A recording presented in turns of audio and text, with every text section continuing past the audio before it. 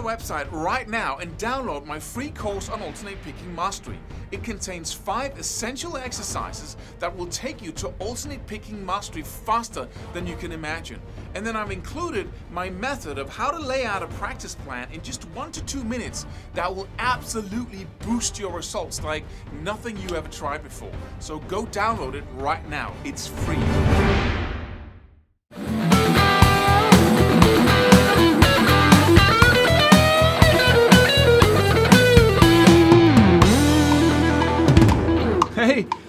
So in this video I'm going to show you a method, a strategy that you can use to to to take a make a quantum leap in your soloing because uh, of one mistake we often make and the cure for it. The mistake we make is that we try to play solos on a on a level too high for us, basically.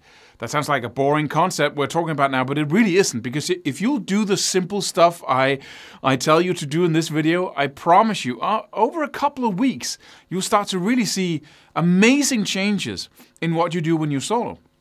See, we aim. Let's say that you have basic soloing down here, right? That's the first level where you can you can do stuff like you know, or you know know, stuff like that. You know, repetitive, uh, cool licks, and you can really, it's simple soloing, right? There's not a lot of going back and forth and using arpeggios and all kind of stuff. It's just simple stuff that just loops, uh, you know, uh, in your solo, and you end these simple uh, licks or ideas you play. And that's the first level, really. And then, but we don't stay there for long because we want to get to the next level. We want to do those flashy solos, so we always aim a step too high. But because we're not done with level one, because we don't master that totally to the, the highest level, then we will never have that platform. So we go to level two without having the platform of being able to return back into level one. And so we basically scramble up here, and it's super frustrating to play solos and always be dissatisfied with them. You know what I'm talking about here? If you do know what I'm talking about on a very intimate level, like you are doing this every day or every time you're performing, then please take two steps back. I remember doing this myself, and I really started with the blues, basically. I went all the way back to the blues, and I started playing these super simple ideas, right? We got something like, you know, uh, let's say we got, right, in the background. And then instead of trying to go all over the place, I just started playing. Oh, sorry. Let me let me hit the right key here. What was I playing in C?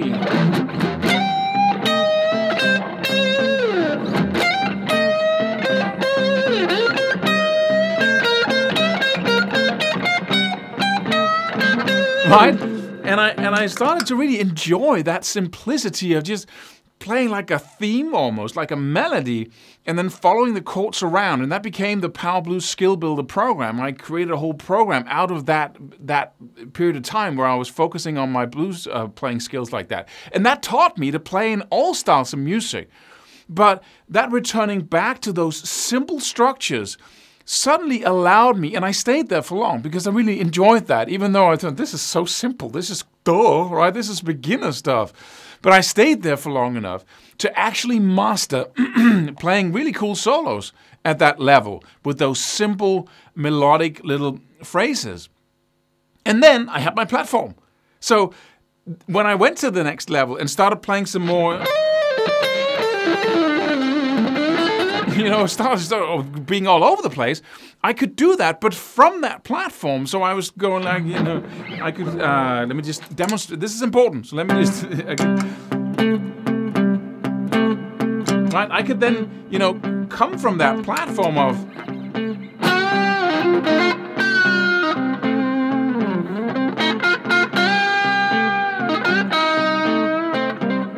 Right? That was my platform, and I could totally effortlessly play a solo.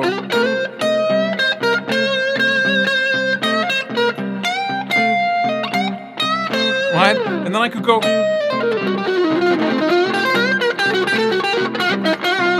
And as soon as I was into something that was too complex, I would just return back to. Right.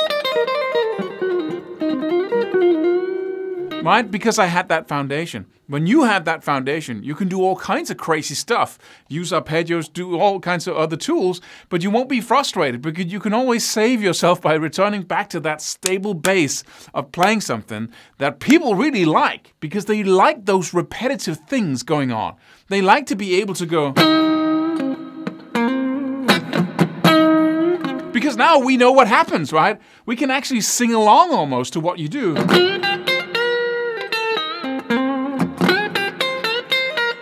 Right? It makes sense. It's like phrase. It's, it's, it's, it's like something that, that, that we can listen to and really follow along with. And the, you know, all of that stuff or the whatever,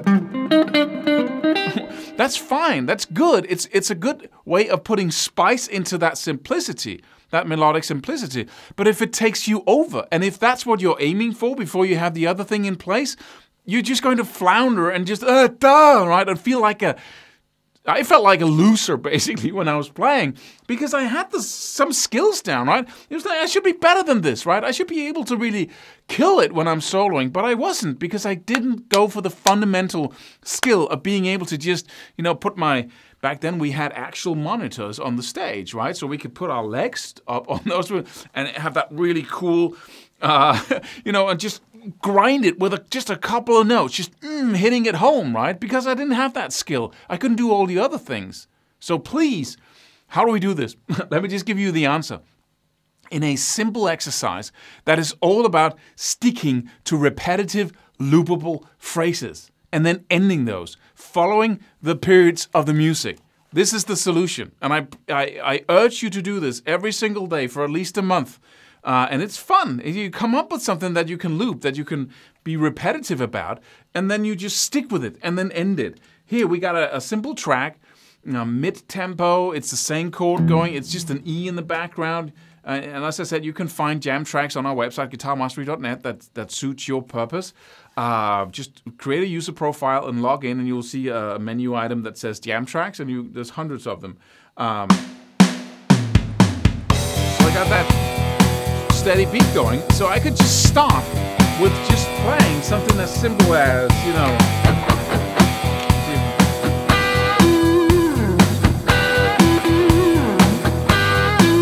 just one little, and then a little variation again.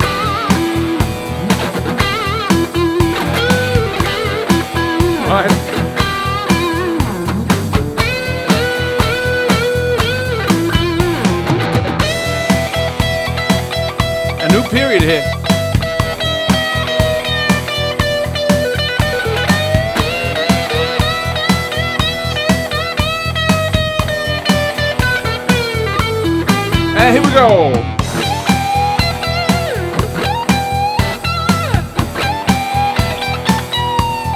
New period, yeah.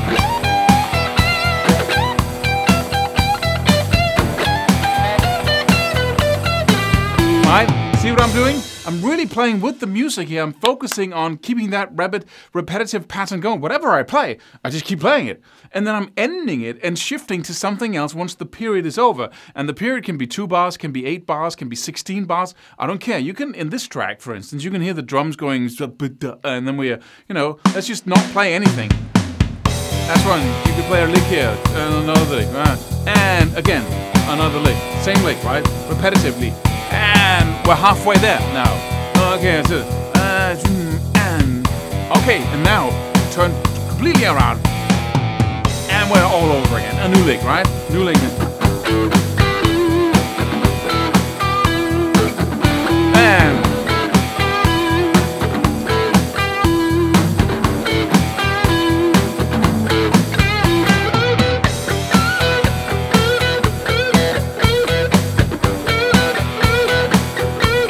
Halfway.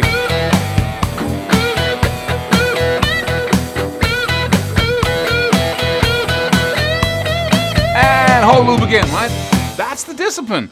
You might think, duh, that's simple, that's boring, that's, you know, but that's, that's somebody who's ambitious who's saying that, right?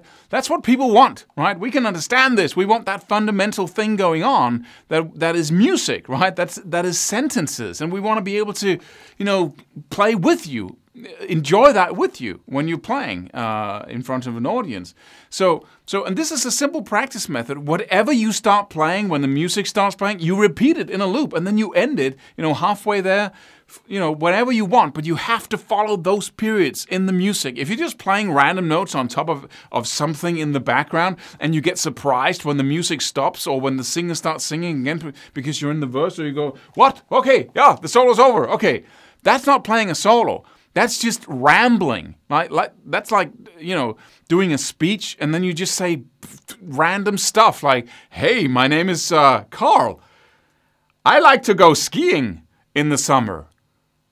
And you know, just coming up with random, you know, on your guitar. That's not soloing, right?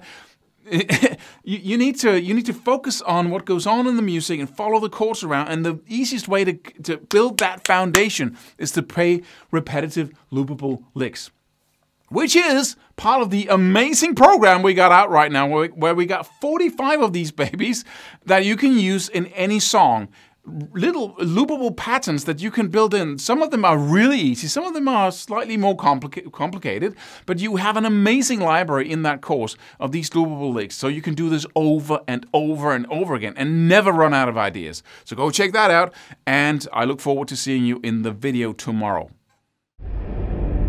Subscribe for more free videos. Do it. Do it now. Do it.